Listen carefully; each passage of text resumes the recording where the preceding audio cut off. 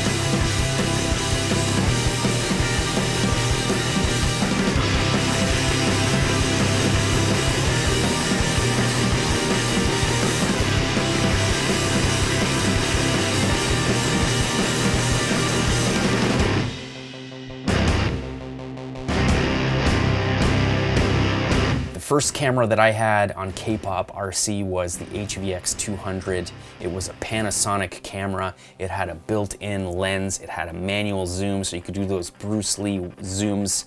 But um, the biggest, the biggest reason for buying that camera was the variable frame rate. You could shoot 96 frames per second and it would package that 96 frames per second into 23.97 frames and it basically created slow-mo. It was three times slower than real time.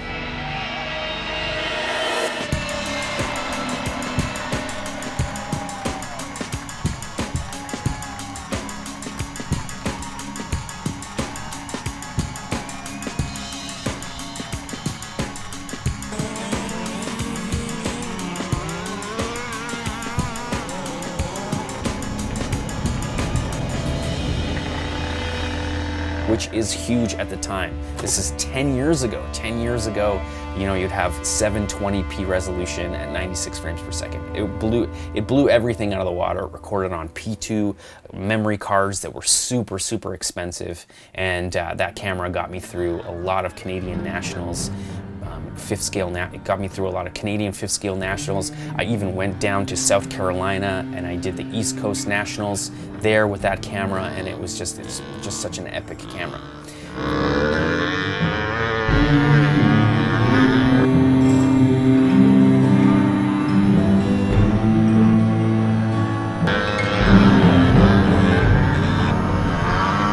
Forward five years and I got laid off at Much Music MTV Canada and got a nice fat severance check and I had to buy a camera for freelance. I jumped on the freelance, I was editing freelance, I was shooting freelance, and I needed a pretty decent camera. So I picked up the Lumix GH4, also a Panasonic camera, also had variable frame rate and you could shoot 96 frames per second, but now at 1080p, all in a tiny uh, micro four thirds DSLR, or I guess it's like a mirrorless camera package, and it was just perfect.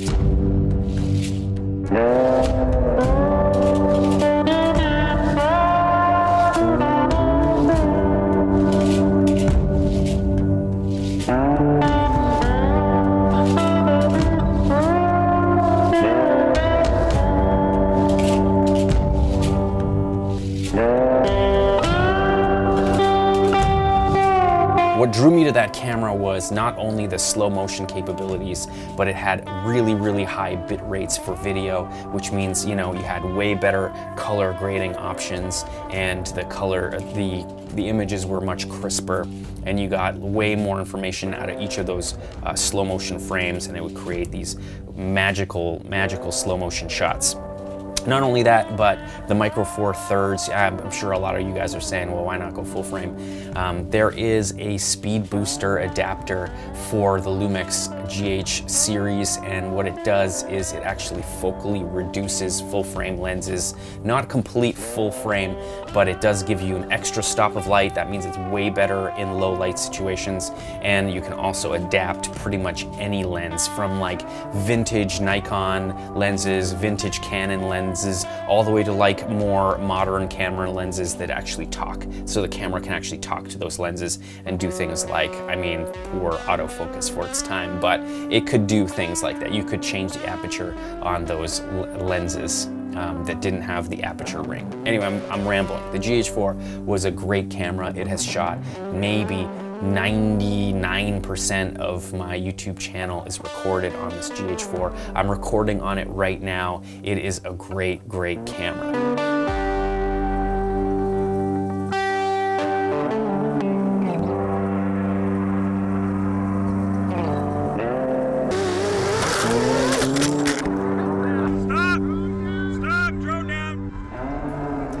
Now, moving on, it is now 2022 and I had to pick up a new camera. I'm tired of iPhones, slow motion shots, you know, schooling my GH4 that is now a solid, what, nine years old probably, um, and I had to pick up another camera. But I had to keep it within my budget. I had to keep it within a budget restriction, um, and I couldn't spend three grand on a camera. So Instead of waiting for the GH6, that's right, it's coming out next month, I jumped onto the GH5, which is already a fairly old camera. I believe it's about four years old right now, maybe even five years old.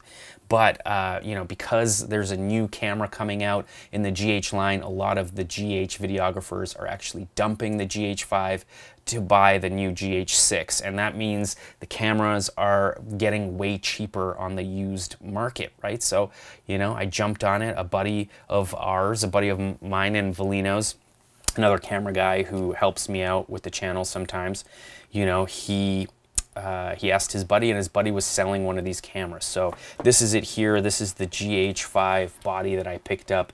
It isn't uh, perfect. So there's a little bit of damage on the shoe there, but it is a pretty minty camera.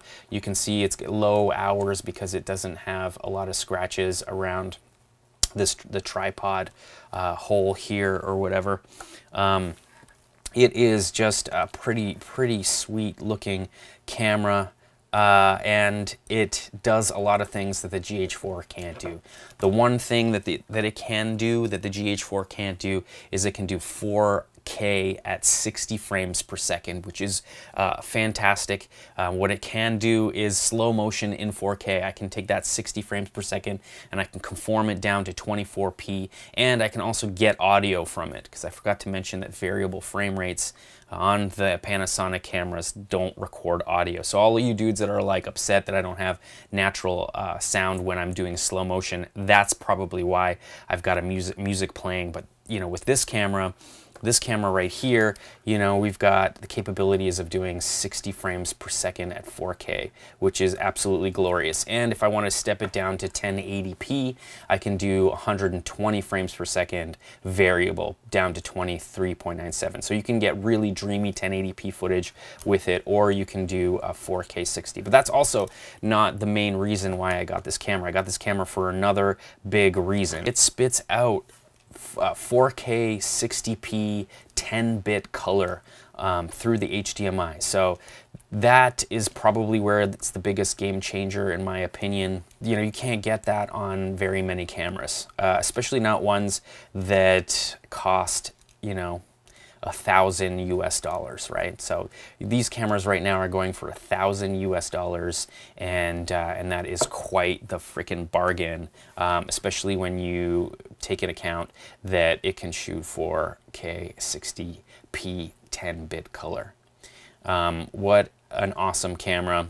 I can't wait to test it out. But um, that's not all. This camera needs a few accoutrements. If there's needs to, we need to have a few things to kind of kit this thing out to get it to the full potential that I want to for the channel. there are certain things that I have to add to this setup that is going to make it even more ultimate. It's going to make it even cooler, and uh, I'm going to kit this thing out, and it's going to make it just a, be a cinematic beast. So let's let's get to it, man. I got a box of goodies behind me here, and we're gonna grab the first one. Let's grab the first one. All right, wicked. Okay, here it is. All right, so this here, this is a small rig is a really awesome company. It makes very affordable accessories for a lot of different cameras. If you're looking for like a cage or an HDMI, you know, clamp or whatever, this is the company to go with. Um, uh, at least, I mean, there's a lot of companies to go with, but this one seems to have a lot of the things that I needed. So I bought a whole bunch of stuff from SmallRig specifically for this camera here. We're gonna switch to the top view. All right, so here's the GH5 and we got this box. Here it says Small Rig, Small Rig, Big Dream. It's actually kind of a cool package design, man. I'm, uh, I'm really liking it. They always have such cool package design, these guys. Um, oh, course, got to make sure I got my uh, hobby knife ready. Uh, yeah, let's open this thing up. All right, I'm just gonna throw, just gonna throw the box uh, down there. We don't need it. All right, in this box, let's see what we got. All right, we got obviously an Allen wrench, which we're gonna need. And, uh, ooh, I hope it came with screws. Okay, the screws are in there. All right, so this is the first thing.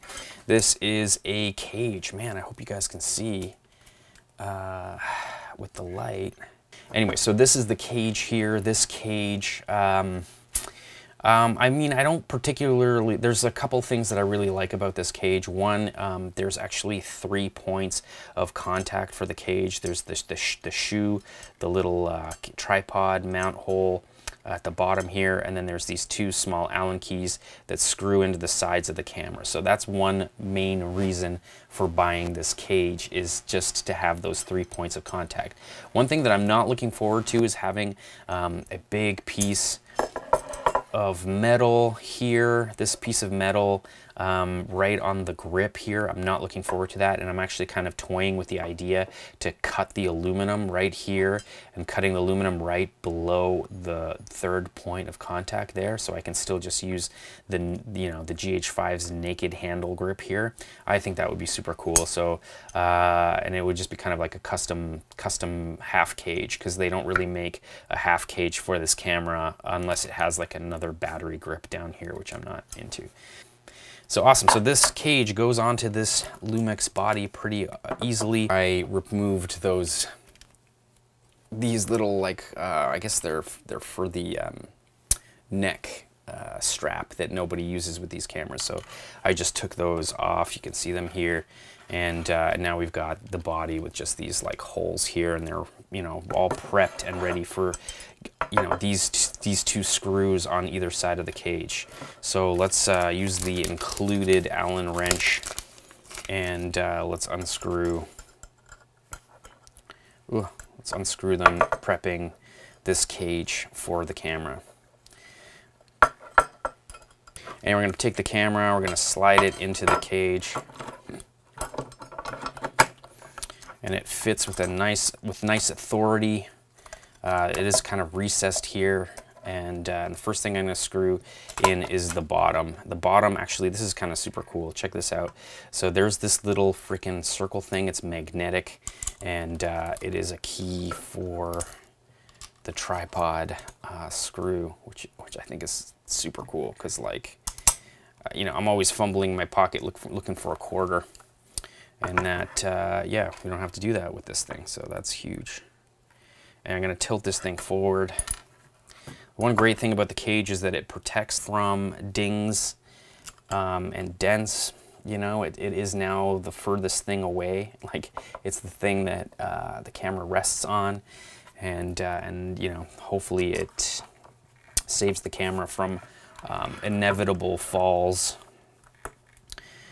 and uh, dings and dents, which let's be real. I mean, it happens. It happens. As careful as we want to be, uh, sometimes it happens. This is an aluminum cage, so I don't want to um, reef too hard on these little tiny hex bolts. But um, there it is. So there's the first accoutrement to the GH5 is this cage. The cage has a whole bunch of quarter taps. Um, you can see there's a whole bunch of mounting locations for other accessories, which I think, you know, is super cool.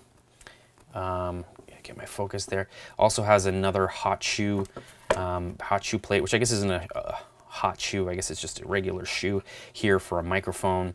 Um, and, uh, and it has a whole bunch of quarter taps there. And it also has an, a NATO uh, NATO rail on the side here, which is an, just like a form of a clamp. You can you can like clamp cinema handles, like these wooden um, handles on the side of the camera, which I'm not doing. I'm trying to keep this thing as light as I can, but um, this is the first, you know, this is the first look um, of this camera, and it looks, I mean, it looks pretty fire with this cage, and you know, I'm not too, ah, I mean, I don't like. I don't particularly like this big piece of metal um, here on the grip. Uh, it's definitely not very comfortable, so I may, you know, I may just like cut the aluminum there and maybe cut it. I don't want to like lose the protection on the battery door here, so I might cut it there and uh, and cut it there. But I don't know. We'll we'll like use it as it is for a while, and then if it really bugs me, that's what we're gonna do. Is we're gonna get rid of this big metal chunk here. I don't know. I don't know but it looks pretty freaking sweet. I, I'm loving it so far. The cage looks super fire, and uh, yeah, man, it looks super cool. Like, look at this thing. Already looks more um, profesh and more serious, you know? Damn, that looks good.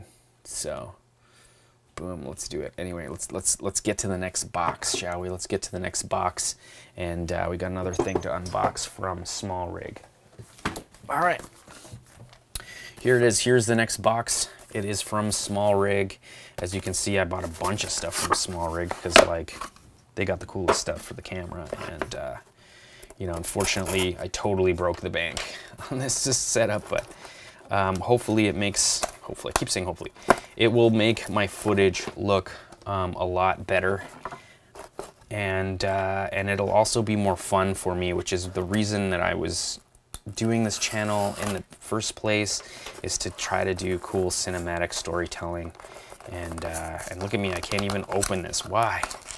Can't even open the freaking box. All right, all right, Wicked. This is it. Another bag, another box. I'm just gonna throw this box with the other box. It's gonna be a huge pile of boxes when I'm done right there. Um, whatever, lots of packaging, lots of freaking packaging. Here we go. Let's see what's in here. So yeah, we got a whole bunch of, of hardware and then we got ourselves this um, rather tiny, man, I don't know if you can see that, if I gotta focus it, maybe it's too dark a little bit, eh? Oh yeah, no, there it's better. All right, so this is just a handle. Um, what's cool about it is it actually has a Allen wrench magnetically uh, held to, to it so you can uh, you can actually like adjust any of the hardware that you have for your rig and it kind of tucks away uh, in its little holder and uh, it doesn't really get in the way. It is very small. It is not meant for really large hands, but, um, but I think this is going to be a perfect top handle um, for me. So uh, let's, let's put it on the small rig cage and we'll see, we'll see how it, how it works, man. Yeah, loving this thing. It's, uh, it's just so small and understated. You know, everybody gets these like massive handles. I'm trying to keep this thing rather compact, and uh, and I think I think we're doing it. It's you know the whole the whole thing is to try to keep this thing light. And uh, I mean, I'm gonna be putting a whole bunch of stuff on here, and I don't want to do just I don't want anything excessive. I don't need a follow focus. I don't need all this stuff. I just need to be able to manhandle the camera and get it where you know pointing where I need it to be pointing uh, in the most comfortable way. So I feel like this is a very good addition to this setup. So here's the handle here.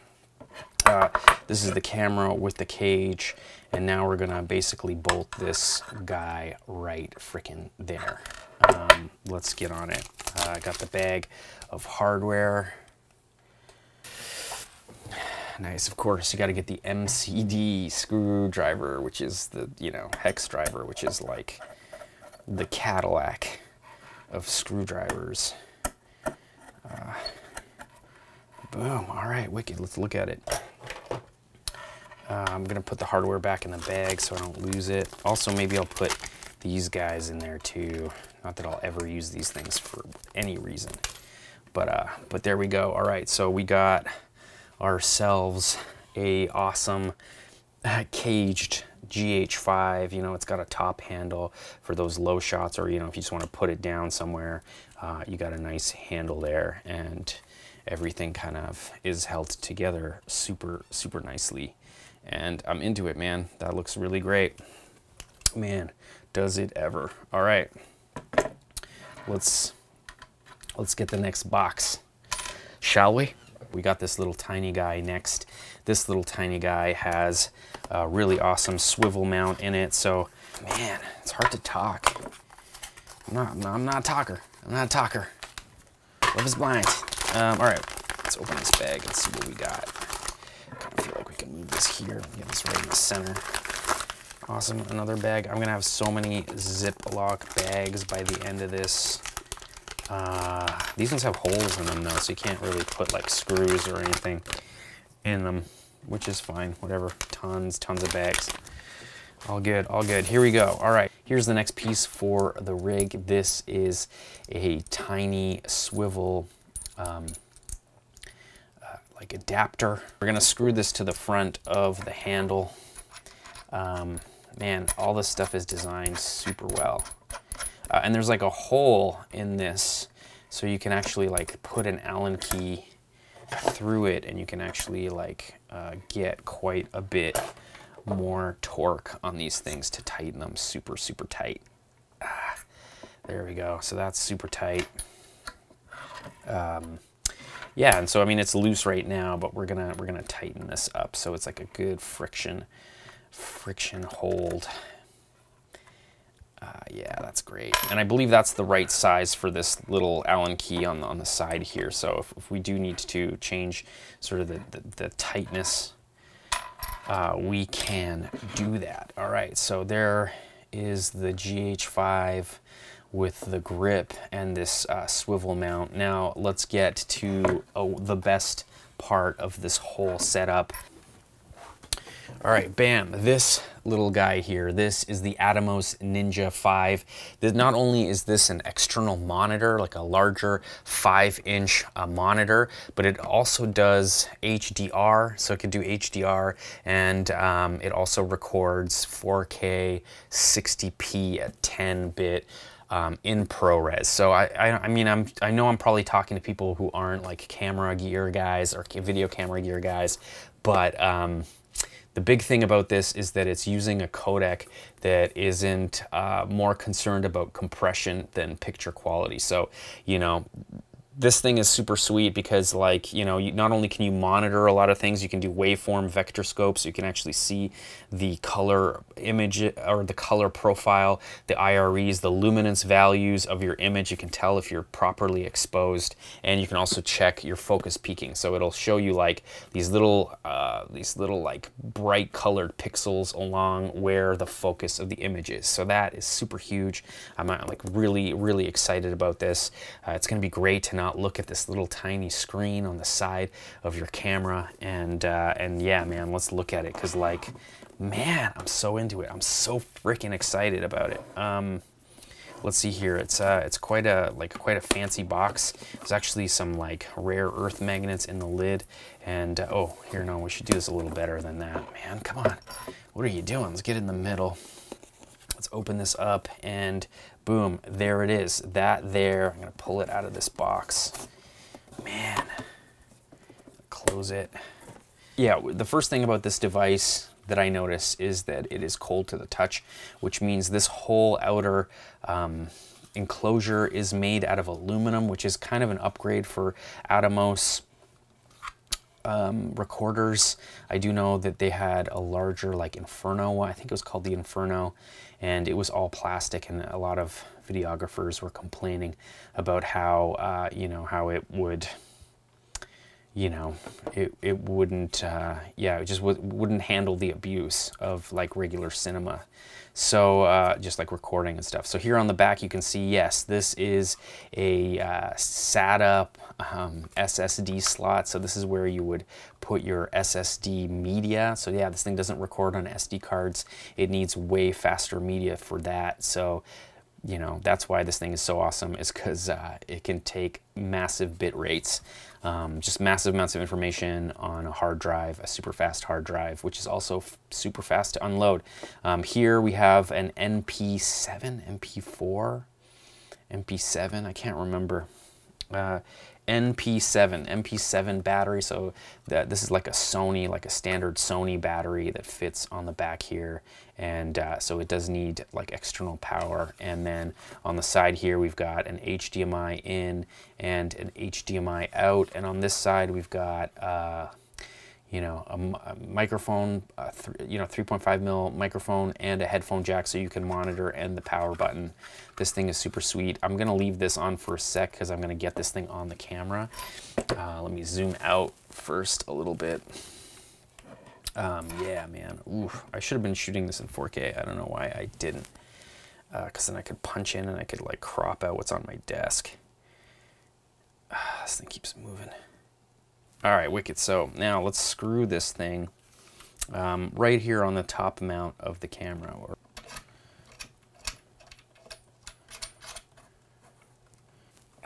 All right, now I'm gonna tighten up this freaking monitor mount.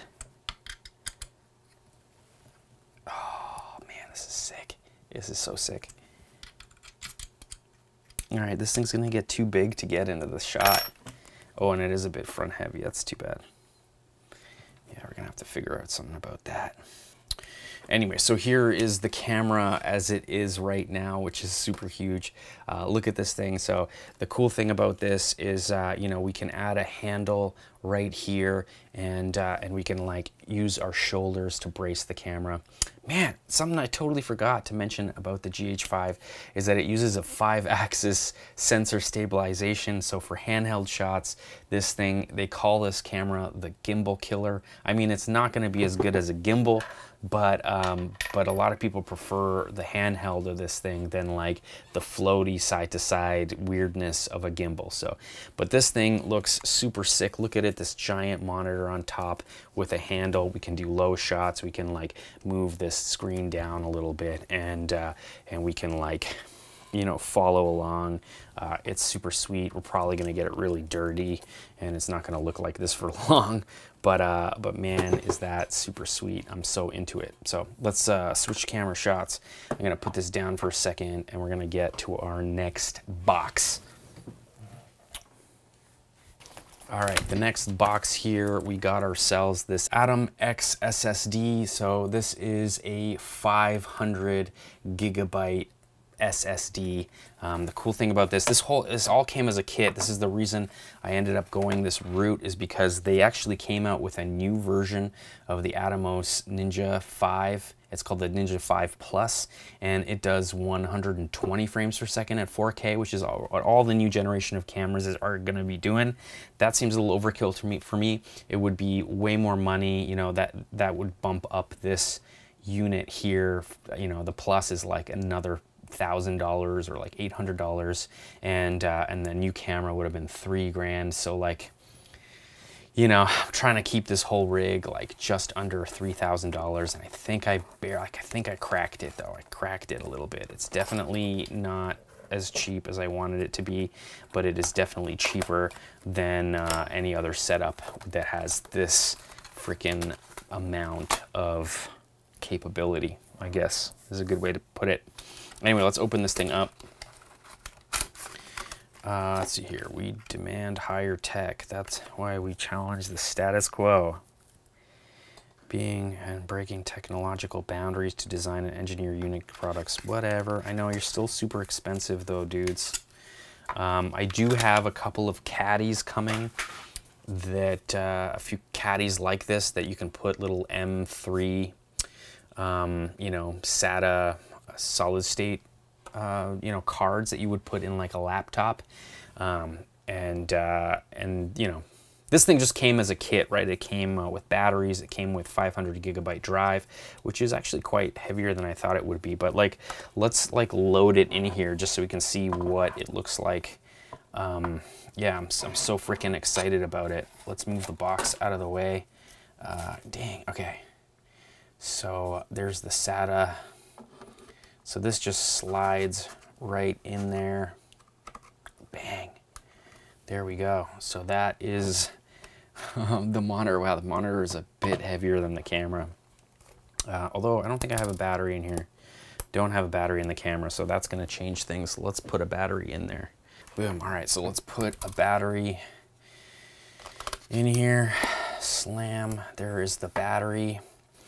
Um, and uh, yeah, so that's what it looks like right now as it is. I gotta still put a battery in this guy, so let's do that.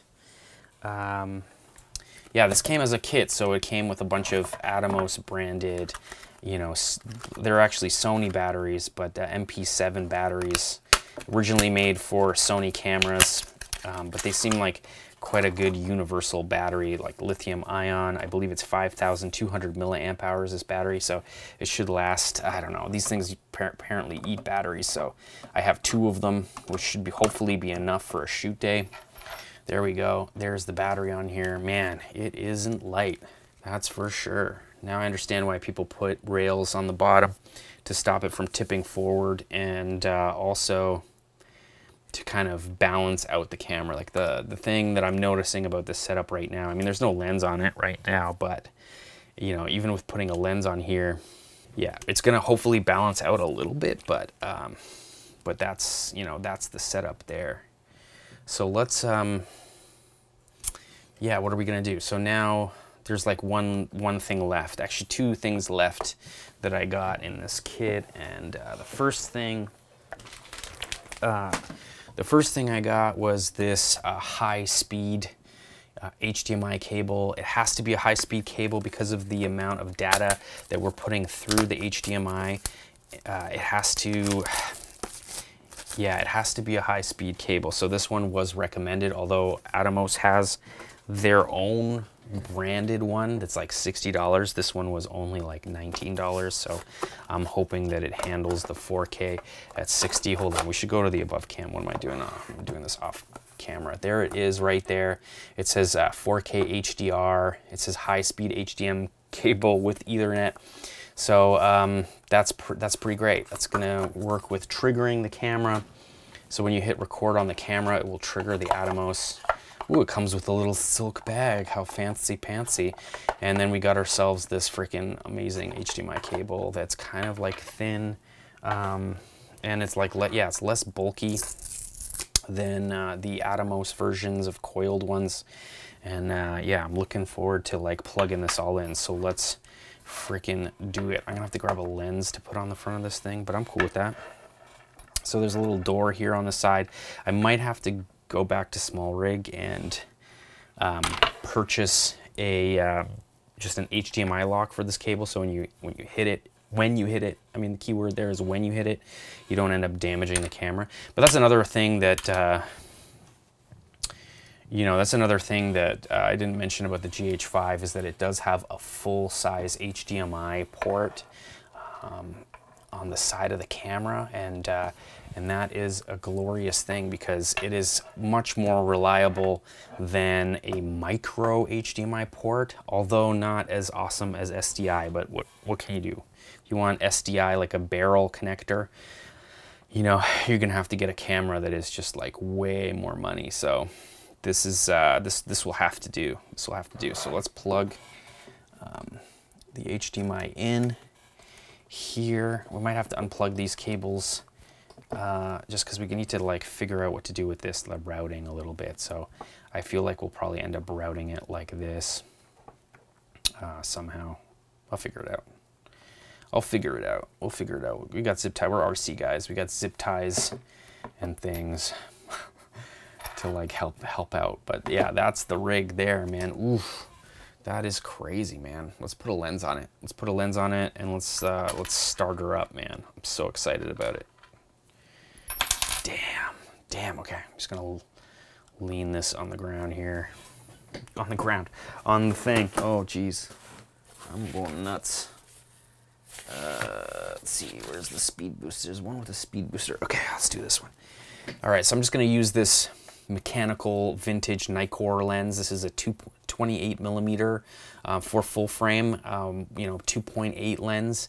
It is like a vintage lens, and I freaking love how like, so, you know, how soft you can make it, how that, that like moire, that like shallow depth of field that you can get on these lenses. It's uh, super, super cool. Uh, I mean, that's the great thing about picking up vintage lenses is that you can get this lens for like $200, you know, but it's a completely manual lens. So you can't control, you can't control like aperture through the camera, which is fine. Or use any autofocus at all, but I don't use autofocus generally, although I want to kind of start. All right, so here is pretty much what it would what it will look like. Like this is a fully rigged um, camera. It's got some weight to it, so I'm gonna need to get like a handle here. I kind of feel like I'm gonna get one of these like left-handed wooden handles to just like be able to suck this thing to my chest and like follow, uh, follow, you know, follow stuff or like do B-roll and, uh, you know, or, or not. I don't know. I don't know. Uh, this might end up becoming a problem. I end up buying a whole bunch more stuff, but let's just wait until the sting of this kind of passes because good God, man. That's it for this episode of K-Pop RC. This is the new sick rig that is going to shoot all of the next, hopefully, five years of K-Pop RC videos. Uh, and yes, I know the GH6 is coming out like next month and it can it just dwarfs these specs, but for the price of this, camera um, and the output to YouTube that it's going to be doing. This is perfect for me, and it is one third of the price of the new GH6. Although, I mean, GH6 global shutter. If you don't know what it is, Google it. Uh, 6K at 60p, uh, 4K at 120. It has just like it dwarfs this camera, but um, this camera dwarfs my setup that I'm shooting with right now. So, you know, what what are you gonna do? What are you gonna do? You're always going to be chasing that next technological advance and I don't have the cash to spend money on new equipment. So if you want to help out the channel, um, if you want to help me out now that I'm like invested some more cash into the channel, then please visit kpoprc.com. Pick yourself up some stickers. Uh, for every $7 you spend on uh, kpoprc.com. It enters you to win a raffle to win a Zero Flux Hilux cage, 3D printed Zero Flux Hilux cage. Uh, stay tuned on kpoprc.com. We've got some new stuff coming. Um, we're gonna be, uh, yeah, we're gonna be resin. We're gonna be doing two-part epoxy uh, molds for a bunch of LS Pokies. Um, LS motor Pokies for Lexan bodies. What else we got? We got a bunch of uh, light buckets that I'm sending to Cardinal Racing for the XR5, the MCD Max XR5. Just a whole bunch of stuff coming. Um, and uh, yeah, the future is bright. We're gonna use this thing to shoot a whole bunch of new videos. So I better get freaking to it. But um, man, so stay tuned, man. Let me know in the comments if you see a difference in quality on the next batch of videos because this is gonna be the rig that shoots them. Cheers to beers, bros. See you guys on Talk Can Tuesday. Awesome. Later.